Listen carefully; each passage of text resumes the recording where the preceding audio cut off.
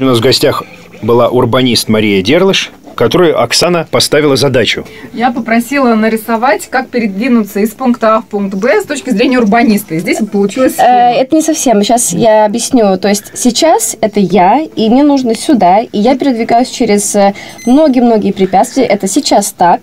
Но в будущем можно было бы сделать Молодец. Может быть, может быть, полететь, может быть, э, как-то телепортироваться. Я не представляю. То есть в будущем возможно все.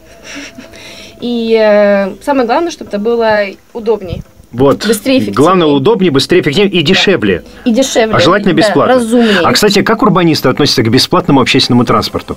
А, он на самом деле не бесплатный. Вот что я скажу. Это понятно, да? Так я отношусь. Это был главный ответ, да?